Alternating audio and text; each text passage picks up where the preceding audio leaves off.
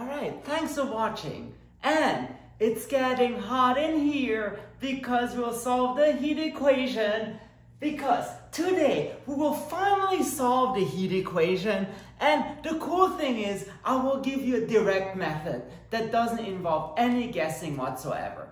And in order to do that, we'll have to use the Fourier transform. More precisely, we will use the Fourier transform with respect to x. So u hat kappa t, what this is, it's just the integral of u with respect to x. So u xt, and then ei kappa x dx. So in other words, you fix t and you integrate with respect to x. And the reason is, then we'll have a nice first order ODE with uh, u hat. Now, remember the steps from the Laplace transform video? So, the first thing you have to do here is you have to take the Fourier transform.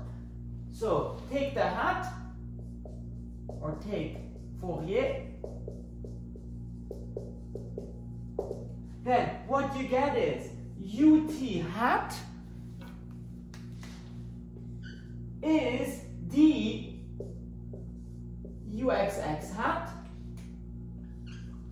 And well, the d is just a constant, so it comes out, and you're left with ut hat equals d uxx hat.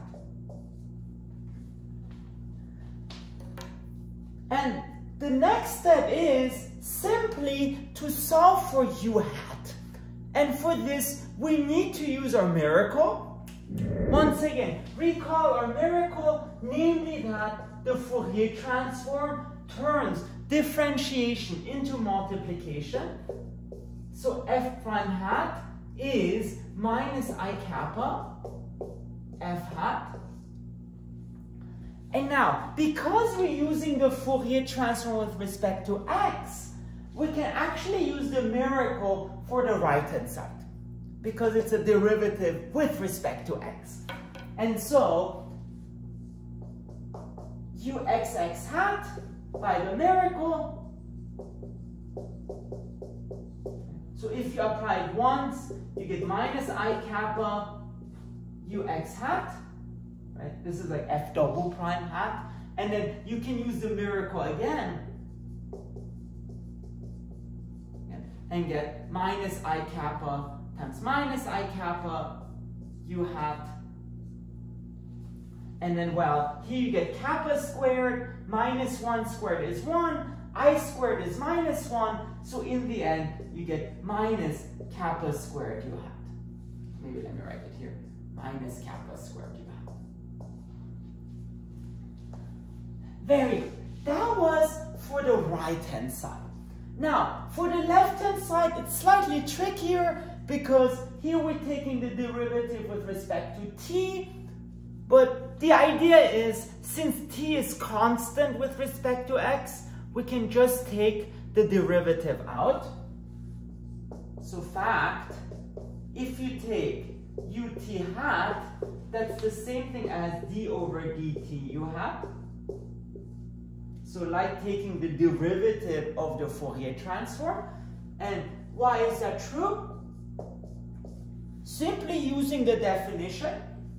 So ut hat, by definition, that is the integral for minus infinity to infinity of ut, and then uh, ei kappa x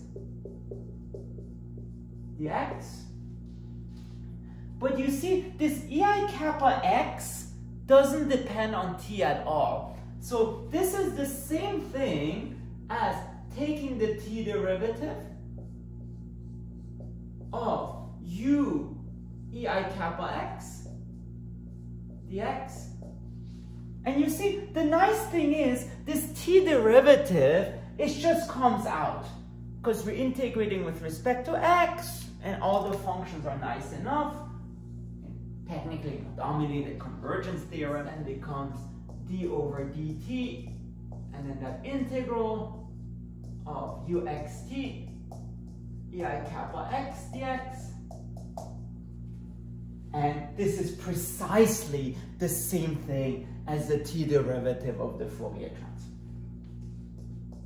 So d over dt.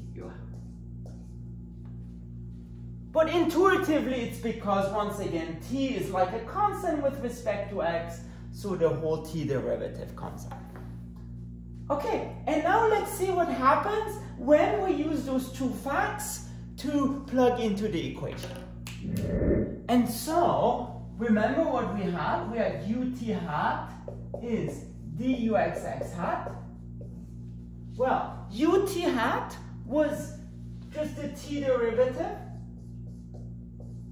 So if you had from kappa t, and here we use our miracle, so minus d kappa squared. U hat kappa t. But you see, this is just a first order ODE if you ignore the kappa. Because if you think about it, this is very similar to the ODE y prime equals ay. So you see derivative of u hat equals something times u hat whose solution is ce to the at. It's very delicious because it's eat. And using this, we can actually solve for u hat.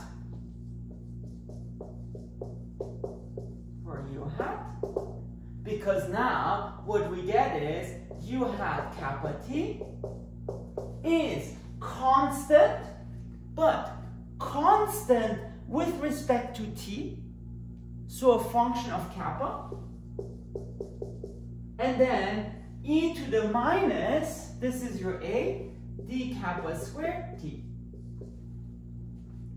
So once again, to recap, this is u hat prime equals minus d kappa squared u hat. So the solution is c e to the minus d kappa squared t. But c doesn't depend on t, so it's a function of kappa. However, we can go a little bit further and solve for c because one thing we haven't used yet is the initial condition. So let's plug in t equals 0. Then what we get is u hat kappa 0 is c kappa e of minus d kappa squared 0. But this just becomes 1. And then we get c kappa. And therefore, c is just the Fourier transform at 0. But if you want, we can calculate this explicitly using the definition because that is the integral from minus infinity to infinity of u of x 0 ei kappa x dx. But remember, one thing we haven't used yet is the initial condition. So that becomes the integral from minus infinity to infinity of f of x, ei kappa x dx. But notice, this is none other than the Fourier transform of f. So f hat of kappa. Which is very cool because in fact now we have solved for u hat in terms of our initial data. Because what we found so far, once again, you have kappa t is c kappa e of minus d kappa squared t. But c of kappa was f hat. And so now we get u hat kappa t is f hat of kappa e minus d kappa squared t. There. Now, let's backtrack a little bit to see where to go next. If you remember the Laplace transform example from the previous video, right now we have arrived at the step where we solve for L of y, which let's say was 4s minus 11 over s squared minus 5s plus 6. And remember, the next step was to recognize the right-hand side as a Laplace transform. And here we want to do the same thing.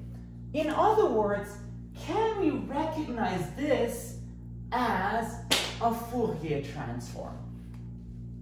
So really, the big question we want to answer next, so that would be kind of step two,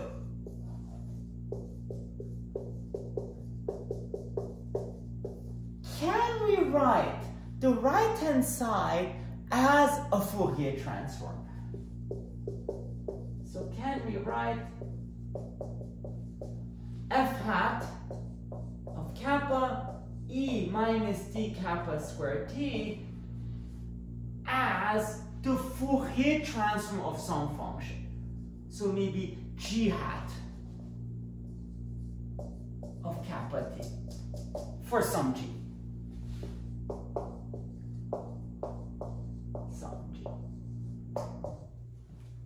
let me explain why that answers the question.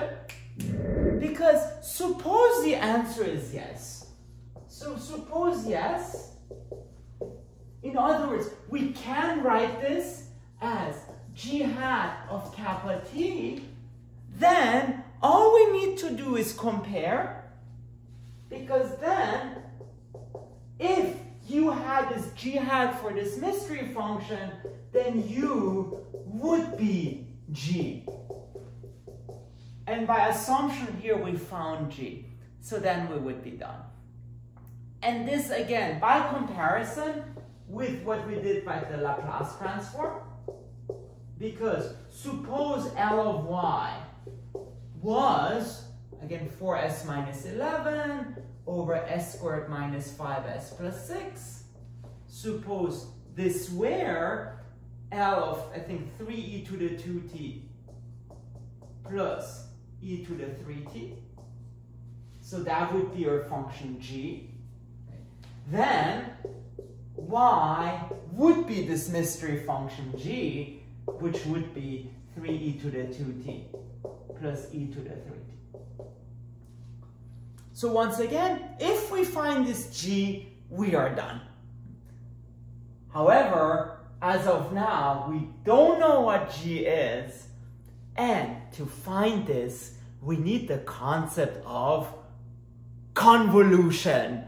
So, little cliffhanger here. We will first cover what convolution is, and then in a future video, we will use that to solve the heat equation. So, to be continued. Alright, if you like this and want to see more math, please make sure to subscribe to my channel. Thank you very much.